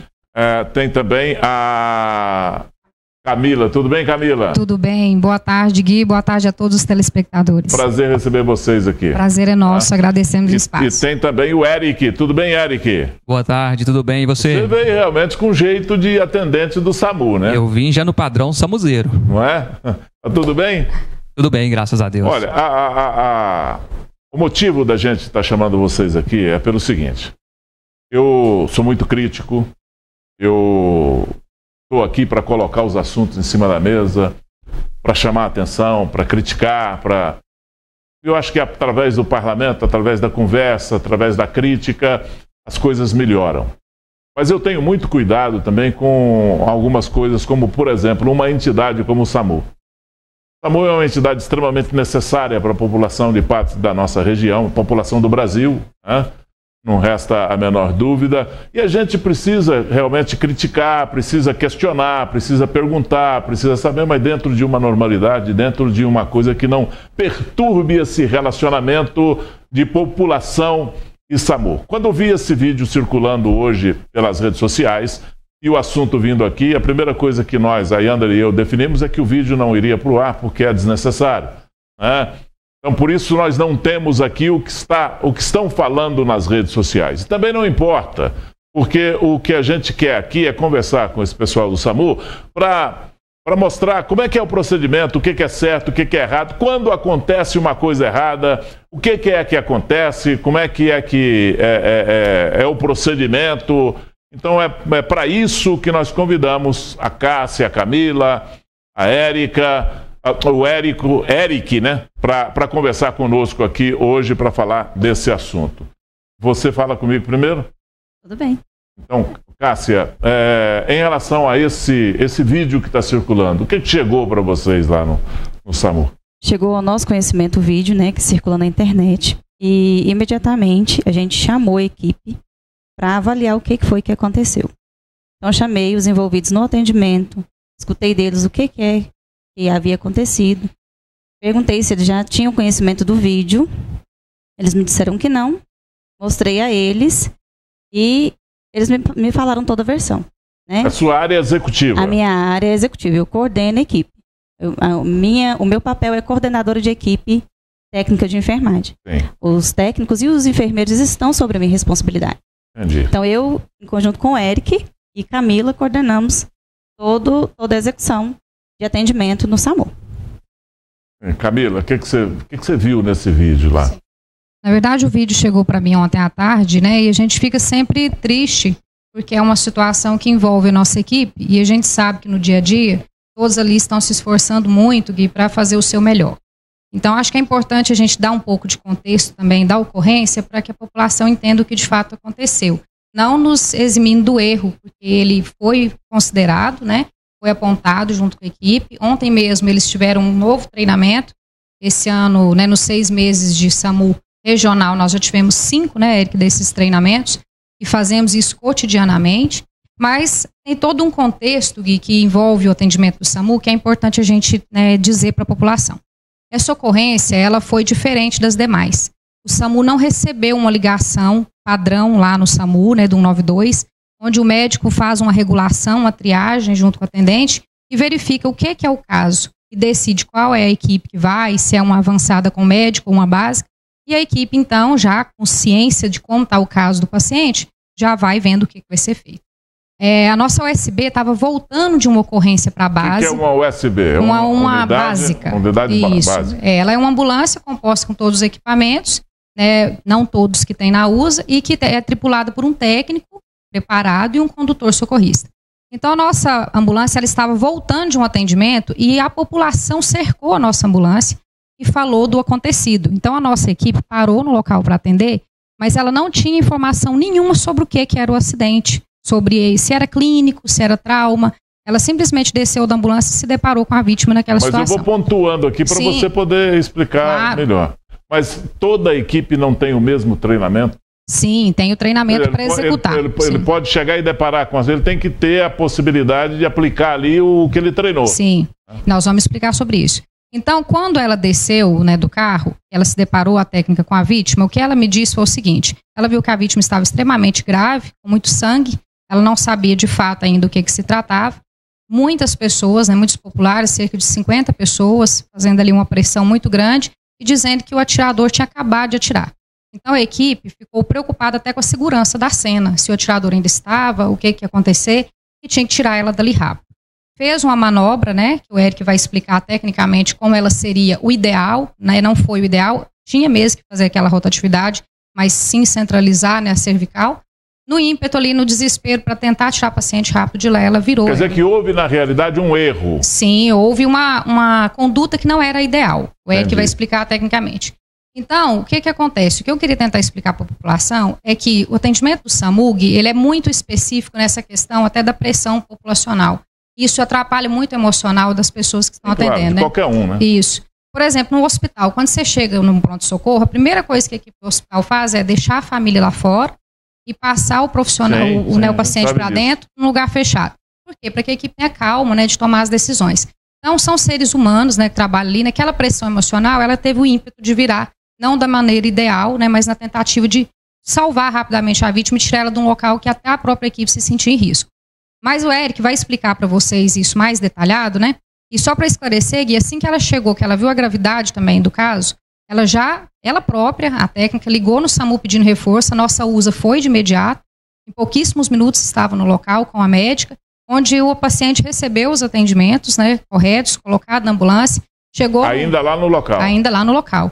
Ele recebeu os primeiros atendimentos, foi colocado na viatura de forma rápida, porque o quadro clínico dela com a perca de sangue exigia que ela fosse tirada rápida do local e encaminhada, porque no SAMU, dentro da ambulância, nós temos vários equipamentos para diversos traumas, mas no caso da perda de sangue, nós não temos. Lá era uma intervenção cirúrgica, tem que ir para o hospital, né? E também não temos bolsa de sangue. Então levou para a garragem. A paciente né, chegou em vida com a garragem, mas ela está em estado grave. né, e é importante ressaltar que o estado dela não tem nenhuma lesão cervical, não tem nada que o a manobra procedimento isso, pro- provocou. Isso tenha provocado, né? Mas não que isso minimize o erro. E só do ponto de vista técnico e da gestão, eu sou responsável hoje pela gestão das pessoas, né? Nós chamamos essa técnica, ela se ela me procurou é, relatando, né, que tinha feito esse erro no ímpeto, na pressão ali, emocional, no intuito de salvar aquela vida e se desculpando, né? E é uma profissional extremamente reconhecida, né, por toda a equipe do SAMU. Nunca tivemos uma reclamação dela. Mesmo assim, nós a advertimos verbalmente ontem. Hoje ela foi advertida por forma escrita, né, que é uma advertência mais séria que nós temos dentro do SAMU, né? Então, assim, as medidas administrativas também foram tomadas. E os treinamentos, sempre que a gente vê que alguém está com uma insegurança, seja ela técnica ou até emocional, porque nós também trabalhamos esse lado emocional? Nós temos a psicóloga organizacional dentro do SAMU para trabalhar essas questões. Mas acho que era importante dar esse contexto para a população para entender que foi uma ocorrência atípica, né? E ressaltar que nós temos erros, né? Quem trabalha com ser humano, né, em qualquer equipe, está suscetível a erros, mas que a gente está sempre trabalhando para que eles, né, não aconteçam, né, ou aconteçam na menor eh, porção possível, né? Então deixo aqui, né, esse esse recado para a população. Olha, eu queria destacar isso primeiro, antes de você falar, viu, Eric? A gente vai falar tecnicamente como é que foi o procedimento e como é que deveria ser. Mas eu queria primeiro destacar o procedimento de vocês que estão na administração disso aí. Seria tão fácil para todo mundo se todo e qualquer órgão público procedesse dessa maneira? É, seria mais fácil para a imprensa, mais fácil para a população, com essa clareza, com essa transparência e com essa honestidade que vocês estão, vocês estão é, se colocando aqui. Eu vou falar, eu quero bater palmas para vocês, porque isso é difícil de acontecer. E às vezes é o seguinte: a primeira coisa que eles falam quando a gente faz uma, fala uma coisa aqui, informa uma coisa aqui, é xingar a gente. Não precisa disso. Porque se existe um problema, é só vir aqui e contar, olha, aconteceu realmente, ou não aconteceu o problema, ou é desse jeito mesmo. A explicação tem que ser dada desse jeito aí. Primeiro, parabéns, sem mais delongas, parabéns para vocês. Meu reconhecimento por essa postura que todo servente, é, é, é, serventuário público, todo funcionário público deveria ter. É, essa aí. Vocês estão, vocês estão dando um exemplo hum, que eu não poderia deixar de destacar aqui de maneira nenhuma. Agora, Eric, é, é, a- a- no vídeo aparece o seguinte: a vítima está em. Vamos falar, esse negócio de decúbito dorsal, esse negócio, o povo não entende isso. Ela estava deitada de bruços. Exatamente. É, ela tomou, ela foi alvejada e estava deitada de bruços. Exatamente. E aí a equipe fez o quê? Ela estava deitada por cima de um dos braços, inclusive. Ela- a, a, a equipe chegou lá e- e virou ela para que ela virasse de costas, deitasse de costas, ficasse deitada de costas, até para a equipe saber o que, que é que tinha, verificar o que, que tinha acontecido. Nisso, a cabeça. Estou explicando no mínimo detalhe, porque nós não vamos mostrar o, o vídeo aqui para você. Então, no, no ele virar o corpo, a cabeça rolou sobre o braço. É, e da distância do braço no, no, na- no- no cimento, ela bateu com a cabeça no cimento e, e foi dado o, o prosseguimento no, atendimento. O que está certo, o que está errado nisso, como é que é, o que está errado nisso e que, como deveria ser o certo? Pois é, boa tarde, né, a todos, né? Primeiramente, eu quero agradecer aqui, né, todos em nome do SAMU, pela oportunidade da gente estar aqui, né, sanando as dúvidas. E todas as vezes que precisar, estaremos disponíveis, né, para estar explicando, né? O SAMU é uma coisa muito importante e a gente sabe que a, a grande maioria da população não sabe de, de fato, né, como que funciona, né? Igual a Camila citou o exemplo da USB, da USA, que são as modalidades nossas de ambulância. E para a gente é, para gente, como eu falei, é muito gratificante a gente explicar como que funciona de Sim. fato o serviço, certo? Então, trazendo aqui, né, fazendo um relatório, um breve relatório em cima daquele vídeo, né, que está circulando nas redes sociais, é, a gente observa o seguinte, é um paciente que a gente fala paciente de trauma, né? A gente, todos nós do SAMU, seguimos um protocolo de como que a gente vai abordar aquele paciente. Então, trazendo de fato que essa situação em si, igual a Camila comentou, que nesse foi uma, uma ocorrência né, atípica, porque na verdade não foi regulado pelo SAMU, a ambulância estava passando o contexto, a população parou, a nossa equipe pediu para fazer o primeiro atendimento. A, a equipe desceu para prestar o primeiro atendimento, né? Não estou falando que realmente eu não estou defendendo o ato ali. Realmente a gente teve aquela falha ali na hora de fazer a, a, a rotação, que a gente fala de rolamento, na nossa técnica do SAMU. Né? O que pecou ali foi não fazer a estabilização da cervical. Mas, o que, que eu quero trazer? Tem que deixar bem claro que aquilo ali não contribuiu né, pra, com a gravidade do caso em si do paciente. Pelo vídeo, a gente consegue ver que já era um paciente extremamente grave, várias perfurações de arma de fogo. O paciente já estava hemodinamicamente instável. Pelo vídeo, você consegue observar que ele já estava inconsciente e com um sangramento ativo importante. Então, a equipe, o que, que eles fez de imediato? Já tentou rotacionar, né, que, conforme eu comentei, não é a forma correta, a gente tem que reconhecer. E já pediu apoio, já de imediato, para a USA, que é uma unidade de suporte avançado. Para que, que eles rotacionaram? A gente sempre precisa rotacionar um paciente. Igual você comentou, um paciente que estava de bruxo, a gente fala ali um decúbito é, ventral, a gente rotaciona o paciente, mas tem que estar aplicando a técnica né, de estabilização de cervical, para posteriormente avaliar se esse paciente está ou não em PCR, uma parada cardiorrespiratória, e pela minha própria visão ali dos colegas também do SAMU, dá a entender que ele poderia sim estar numa parada cardiorrespiratória, o risco ainda seria mais rápido ainda, essa remoção rápida. É, é bem importante a gente deixar aqui bem claro é, que esse tipo de paciente, né, como é um paciente que necessita de bloco cirúrgico, que necessita até mesmo de uma hemotransfusão, pelo, pela quantidade de sangue perdido no local, todo atendimento, obviamente, tem que seguir o protocolo de trauma e ser removido mais rápido para a unidade hospitalar. Muito bem. Vamos aí pontuar algumas coisas aí. Primeiro, essa questão da, da, da ambulância. Ah, foi uma ambulância que foi interceptada, não teve a regulação correta, mas os elementos que estavam lá dentro tinham que ter, ou tem que ter, por ordem de, de, de, de- de vocês, por ordem do, do, do protocolo de atendimento do, do SAMU, ela tem que estar preparada para qualquer situação Sim. né? inclusive para a pressão ambiental que tiver.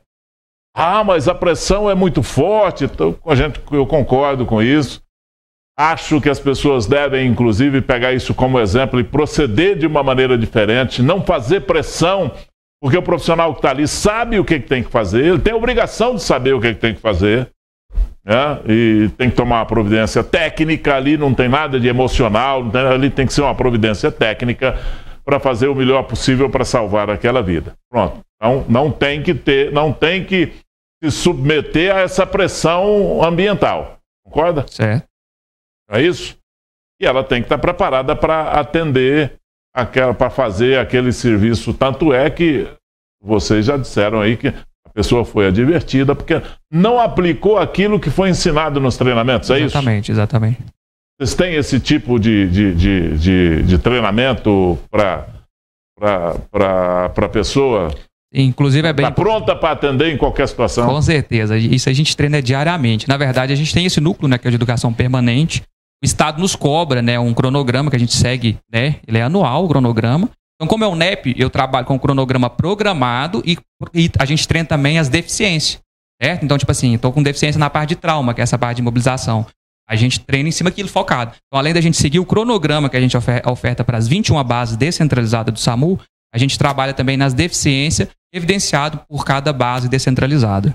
Camila, eu tenho uma pergunta para você. Sim, queria só acrescentar Pode, um pode, detalhe. Eu costumo dar esse exemplo, até quando a gente vai falar dos treinamentos no SAMU, porque às vezes fala, ah, mas eu vou fazer esse treinamento de novo, né? A própria equipe fala, nós já fizemos isso tantas vezes, e a gente fala, quando você está na escola, você vai ensinar uma aula, né, para os alunos, tem aluno que assiste a aula uma vez e aprende. Tem alunos que você O jogador ensina futebol tem que treinar a várias vezes. Tem que treinar a semana inteira. é. Isso É. mesmo. É. Tem algumas pessoas que, por mais que assiste o treinamento várias vezes, tem mais dificuldade de aprender. E tem pessoas que, que às vezes sabe o conteúdo, é aquele aluno nota 10. Chega na hora da prova, ele dá um branco. Ele fica nervoso. Então, o que eu acredito que aconteceu com essa profissional, ela sabe o que fazer. Tanto que ela reconheceu e se desculpou. Na hora, naquele contexto, por ter sido parada na rua, por toda a pressão e falar que o atirador né, ainda estava por ali. O que ela- não pode o justificar. que não né? pode justificar, sim. E nós deixamos isso bem claro, inclusive, para ela. Ela mesma reconheceu que não justifica, né?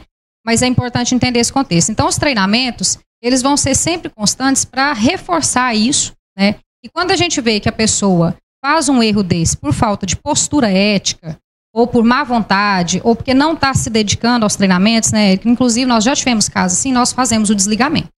Porque essa pessoa ela não tem perfil de SAMU, né? Ela não é um Eu profissional, não acredito né, que vocês vão deixar uma pessoa lá, sabe, que negligencia um Isso. atendimento desse por, sabe, por gosto, Exatamente, ou por, por né? desleixo ou por qualquer Isso. coisa. Eu não acredito. Então, Não- então não- é não isso mesmo que a gente gostaria de, de ressaltar, que a gente está assim o tempo todo acompanhando esses profissionais de perto. Né? Eu acho que hoje nós temos uma equipe muito mais segura, né? E muito mais preparada também, profissionais que de fato amam né, o SAMU. Pois e é, isso aí tem eu tenho uma um pergunta. positivo. Para gente encerrar, eu tenho uma pergunta que é o seguinte: vocês pegam esse tipo de, de, de- de evento, isso que aconteceu, e, e coloca isso na frente da equipe, de toda a equipe, para rediscutir isso, sabe, para mostrar como exemplo, para sabe, para um, um treinamento, ou não sei lá, para uma discussão produtiva dentro da equipe, é isso, é? Oh, é isso mesmo. O que, é, que que acontece? Inclusive, esse é o nosso cenário que a gente faz, entendeu? Tanto na parte, você- essa semana a gente estava treinando os médicos regulador. A gente traz as ocorrências em si, obviamente a gente, né, ali a gente vai estar censurando o nome da equipe, e a gente traz o atendimento em si para a gente discutir o que poderia ser feito, o que que tem que fazer. Então, como a gente trabalha em cima de protocolo, todo mundo tem que estar nivelado. A gente tem que fazer o mesmo tipo de atendimento. Então, esse tipo de atendimento é o que a gente traz para a realidade. Como que teria que ser feito naquele local? Era a melhor conduta fazer aquele tipo de rolamento? Não era, né? A gente vê que é, pelas essas falhas aí a gente leva isso para os treinamentos. Então leva para toda a equipe, não só da equipe de Patos, né, Camila? É bastante importante a gente deixar bem claro aqui, como o SAMU é regional, a gente já tem 21 bases descentralizadas, atendendo um total de 33 municípios. Então, o mesmo conteúdo que a gente faz aqui, a gente faz com as outras, né, as outras 20 bases. Muito bem. Agora é o seguinte, o, o, o Cássio, eu falei que era para encerrar, mas tem as curiosidade, a curiosidade vai aparecendo mais pergunta, né? É, esse tipo de erro acontece por causa dessa troca de modelo do SAMU, de SAMU local para SAMU regional, mudando todo mundo. Nós tivemos todo aquele, aquele trauma naquela mudança. Isso pode ser uma decorrência daquilo ou, ou não? Não. Foi um evento isolado. A profissional é extremamente capacitada. Quando a gente treina um servidor, a gente replica esse mesmo treinamento igual o Eric falou para as 21 bases. Então, igual a gente explica. Nesse tipo de trauma, trauma crânioencefálico vai se proceder dessa forma. Isso não sou eu, nem é o Eric que determina. É uma determinação do Ministério da Saúde. Nós temos uma cartilha a ser seguida. Então, são protocolos. E protocolos têm que ser aplicados. né? O que não foi feito foi a aplicação de uma parte do protocolo do trauma, mas que não influenciou no estado da paciente hoje. né? Esse tipo de atendimento não influenciou. Se fosse um outro procedimento ter influenciado, a gente não sabe responder. Pode ser que sim, mas também pode ser que não. O dela não houve. Né? O que a gente tem que frisar aqui é que, embora aconteça o erro que aconteceu, né, da forma que foi, foi a, a saída que ela viu, né, de fazer a avaliação primária, que a gente chama que é quando a gente chega e avalia a cena, faz a avaliação primária, a- o jeito que ela viu mais rápido de fazer essa avaliação primária foi fazendo o rolamento da, da maneira inadequada, mas logo depois ela já viu que estava errado e já partiu para o controle de sangramento. Muito bem. Em relação a essa, essa profissional que teve esse, esse procedimento ou que cometeu esse erro lá, eu tenho certeza absoluta que vocês vão saber lidar com isso, sabe, de, com muita com muita categoria, né? Porque o profissional também não pode ser sacrificado também por um, por um erro. Todo mundo. Ela é uma É, um ser um- excelente profissional. Pronto. pronto. Excelente. Espero- Eu confio muito espero- no trabalho dela. Espero que isso seja reconhecido e que ela, sabe, faça a sua reciclagem, que, que dê tudo certo e que dá tudo certo e que ela continue prestando um bom serviço aí para a população. E, inclusive, queria só enaltecer também que o SAMU acerta muito. Né? Assim, a equipe Sim, tem- claro. faz muitos atendimentos, né? A gente tem hoje em Patos. Aliás, o SAMU não pode errar, é, né? exatamente. No, ah, o, Eric Porque brinca a que SAMU... a esperança nossa é que o SAMU não erre, porque eu vou estar doente amanhã, tá com um problema de saúde, com alguma coisa, ou eu vou entregue Saúde não pode ter erro, né? É? O Eric brinca que o SAMU não tolera pato. E pato nada mais ou menos, anda mais ou menos, voa mais ou menos, né? SAMU não Exatamente. pode. SAMU tem que ser profissional de ponta. Então, assim, só reconhecer também as equipes, que quando acontece um evento como esse, a equipe inteira fica triste. Gui. Hoje o SAMU tava a equipe de luto, né? Porque a gente não gosta de ver o colega, né? Errando, sendo exposto. E assim, a gente faz hoje só em Patos, em média, 29 atendimentos por dia, né? Aumentou, antes era em torno de 23, nós passamos para 29. Regionalmente são 60, 64 ocorrências por dia. E assim, com muito sucesso, muitas vidas sendo salvas, né? Então eu quero aqui, né, assim, agradecendo a com certeza equipe, né? Em nome de, de- de nós, né? Com Agradecendo certeza. toda a equipe de todas as bases. Olha, eu só quero destacar mais uma vez a transparência de vocês com que vocês estão tratando esse tipo de coisa. É, o, o meu reconhecimento aqui e eu desejo que, que todo órgão público proceda desse jeito. Nosso relacionamento seria muito melhor, o relacionamento com a população seria muito melhor. De qualquer forma, está feito aí, o espaço foi aberto e sempre que vocês precisarem desse espaço, nosso programa está inteiramente à disposição de vocês, viu, Cássia? Obrigado. Obrigado, tarde. obrigado, Agradeço Camila. Obrigado. Eric. Obrigado. Vamos treinar o pessoal lá. Vamos, você é com a gente lá. Um abraço para vocês. Um abraço. Está aí explicado e a gente espera que esse assunto cesse todo esse questionamento aí na rede social para a gente não ficar, sabe, falando coisas que podem inclusive atrapalhar, né? Você tem intolerância à lactose e ainda se priva de alguns alimentos? Então se prepare que a Copatos tem uma linha feita especialmente para você. Consuma os derivados do leite sem preocupação. A Copatos tem a melhor mussarela zero lactose na versão barra e além do requeijão, iogurte de morango e o leite fermentado. Não se prive. Se alimente de forma saudável, saborosa e segura com a Copatos, que sempre pensa em você. Copatos, sempre presente. No dia 19, mostramos a participação do Shell aqui no quadro Você, o Repórter. Ele reclamava de um mato no terreno da Algar, lá na, na localidade de Ariado, lá no distrito de Ariado. Como estando, estamos vendo aí nessas imagens, né? E ele fala aí que a casinha estava sumida e estava mesmo, nem via a casinha lá da, da Algar. né? E o Shell volta aqui, é porque essa reclamação teve efeito. O resultado no quadro Você é o Repórter. Põe na tela.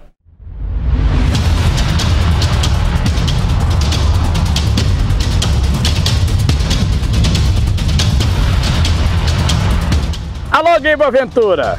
Olha, o quadro Você é o Repórter. Gui Boaventura falou, água parou, rapaz. Olha aí. Essa parte aqui é da rua Marciano Mariana Mota, que diz respeito à prefeitura. Tá bom, olha que matagal danado. Mas quando você falou aí, olha só o que, que aconteceu. Olha o que aconteceu. O grupo Algar Telecom mandou uma equipe aqui, ó, e arrumou, mas ficou um xodozinho isso aqui, ó. Você viu que antes não dava para ver a casinha, né? Agora já dá para ver perfeitamente. É, tinha ninho de cobra aqui, ninho de galinha, alguns lugares nem cortou porque tem ninho de galinha, né? Chocando, né? E agora das cobras sim, as cobras resolveu o problema. Tá aí, ó, situação dramática realmente. Agora a parte da prefeitura tem que fazer alguma coisa, que olha, a vegetação já ocupou quase toda a rua.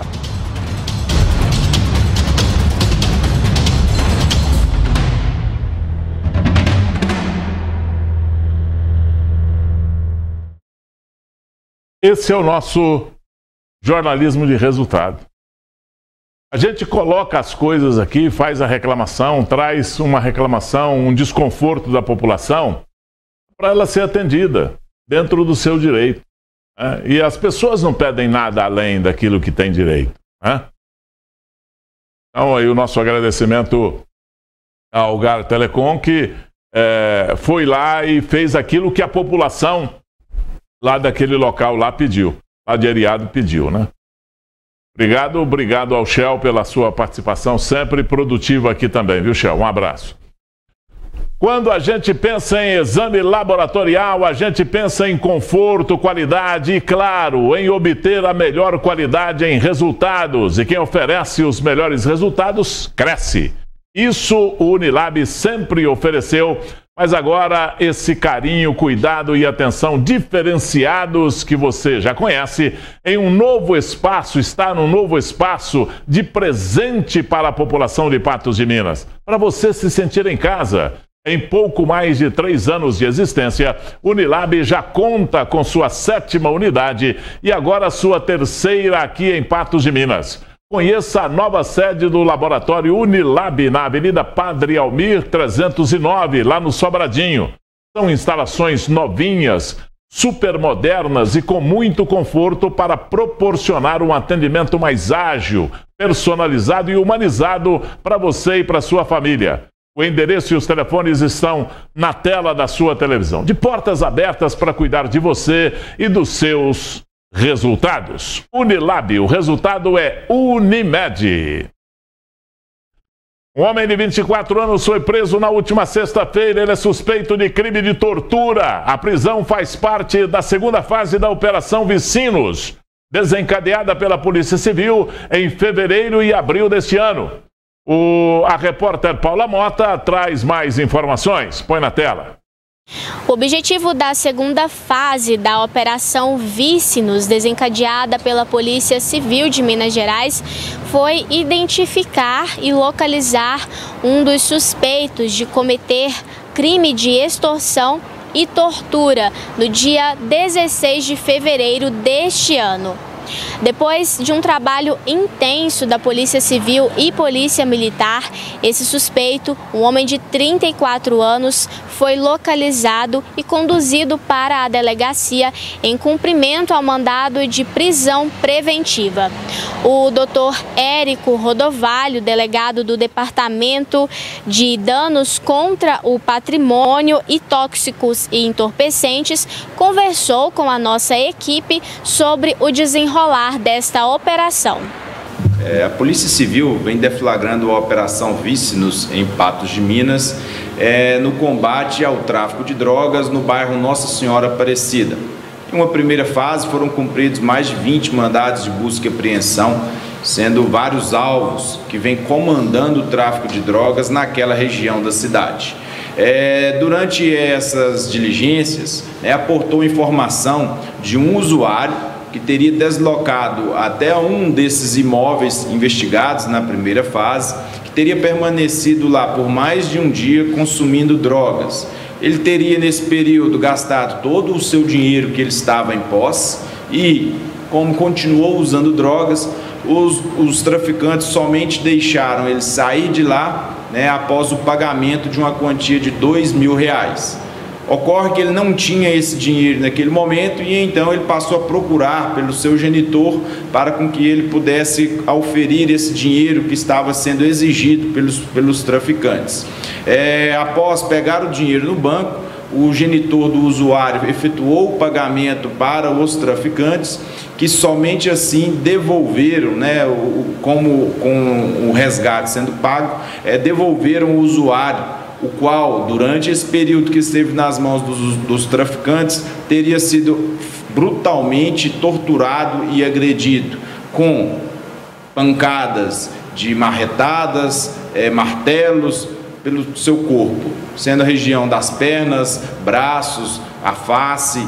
É, e, e, após essas agressões e o pagamento do resgate, ele foi liberado.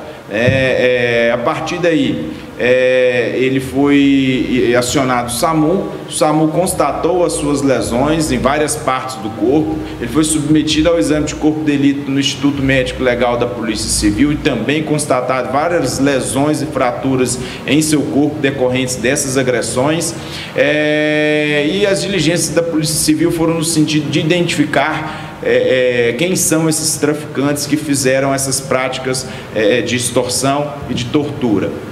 Um deles já foi identificado, a Polícia Civil representou pela sua prisão preventiva, o que foi acatado pelo Poder Judiciário e Ministério Público, e durante esse feriado né, ele foi é, abordado pela Polícia Militar e foi dado cumprimento então ao seu mandado de prisão.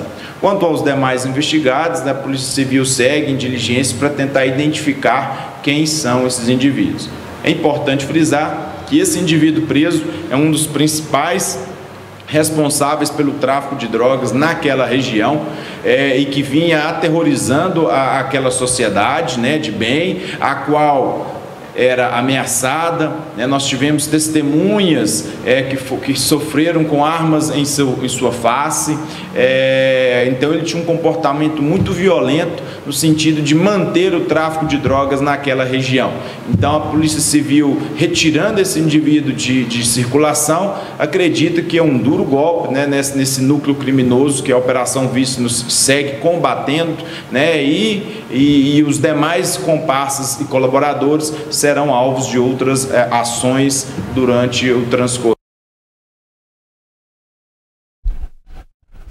Ah, aí, passo dado aí, né, pela, pela Polícia Civil, né? Vai fechando o ciclo, né? O trabalho da Polícia Civil vai fechando o ciclo aqui. É, e esse aí é mais um tento né, da, que puxou aí a Polícia Investigativa, a Polícia Civil prendeu esse, esse rapaz aí. Agora, gente, eu vou, eu vou falar um, vou dar um recado aqui, mas eu tenho um recado aqui importante a respeito dos crimes que estão acontecendo. Eu estou vendo aqui pessoas que estão é, mandando mensagens para cá e é um assunto que eu quero falar ainda hoje aqui no nosso programa, para depois a gente abordar isso aí com quem de direito, principalmente com a polícia militar. É mais, muito mais um pedido de socorro do pessoal lá do, do, do, do bairro do Pisolato do, do, do bairro Quebec. O Cicobi Patos é a primeira e a maior cooperativa de crédito do Alto Paranaíba, sendo uma das mais expressivas do Brasil. 35 anos de história trabalhando para atender as necessidades de forma personalizada para cada cooperado, com rapidez, ética e profissionalismo. Mais que produtos e serviços diferenciados, o Cicobi Credipatos cuida dos seus negócios de forma justa para aumentar as suas conquistas, né? principalmente as conquistas de patrimônio financeiro. Cicobi Credipatos. Somos hoje a cooperativa do futuro.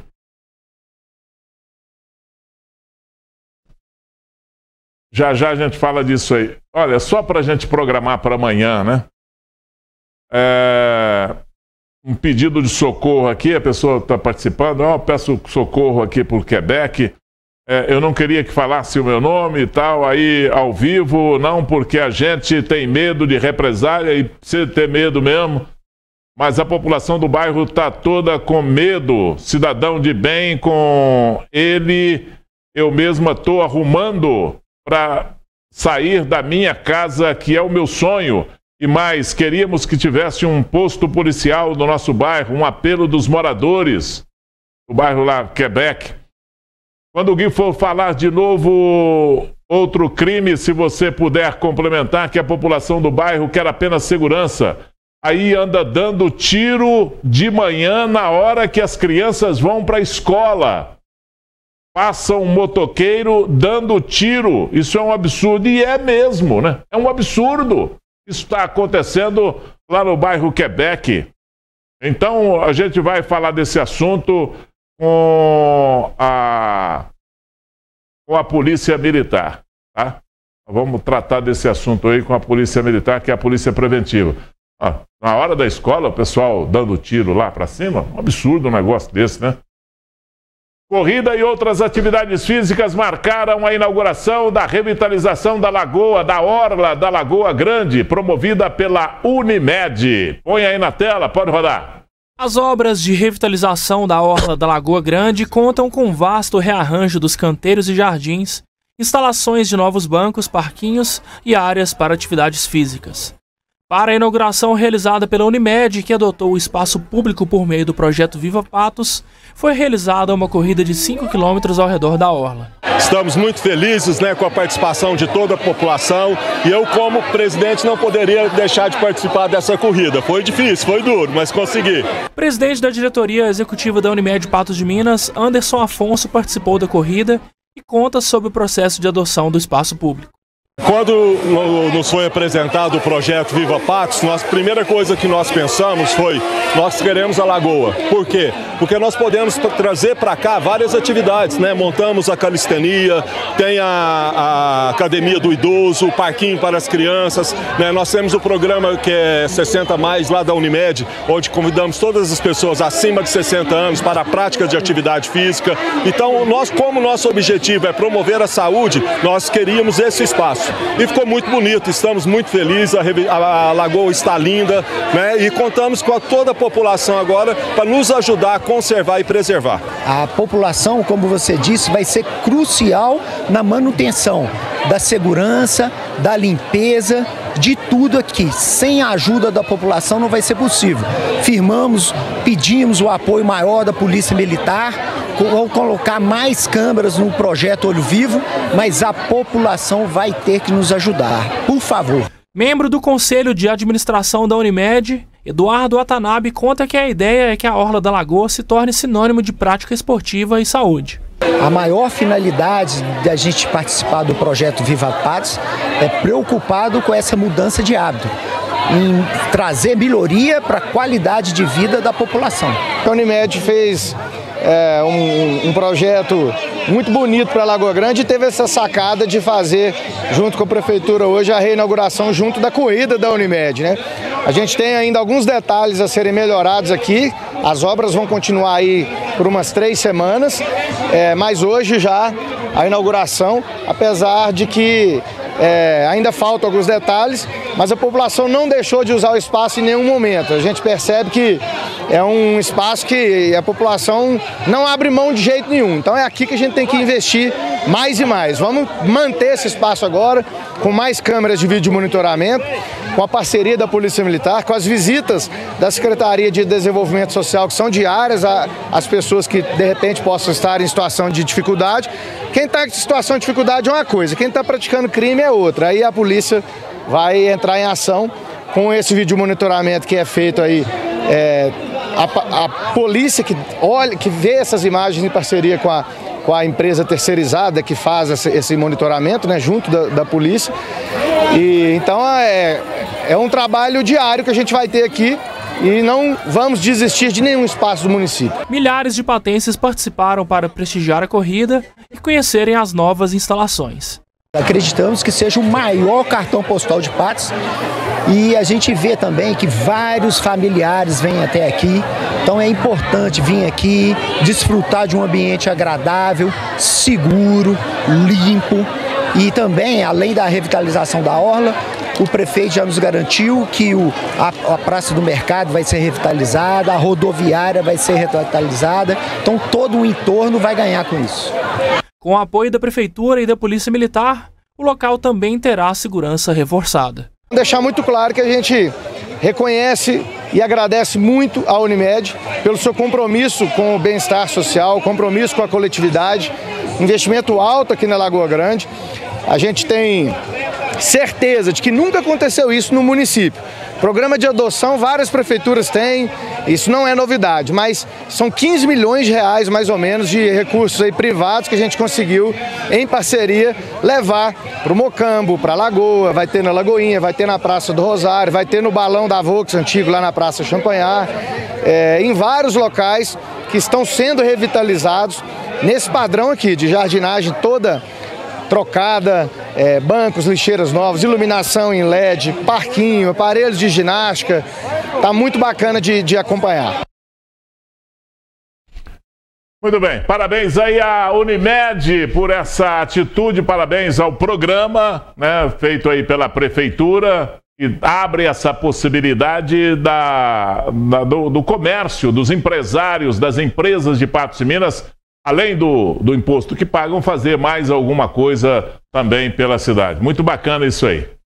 Apresentação do nosso Moçambique, de Patos de Minas, do Quilombo do Ambrósio, né? Aqui da cidade, ó. Lá na cidade de Brasília. Isso foi ontem, lá na cidade de Brasília, né? Aliás, anteontem, dia 22. Bacana aí, tá aí o pessoal aí, tá aí a, a, conduzidos aí os moçambiqueiros pela mãe Jura, né? Aí na frente, liderando esse grupo, mas é Patos de Minas levando a sua cultura aí pro Brasil e o mundo. Bacana. Levanta o sonho um pouquinho, deixa eu ver.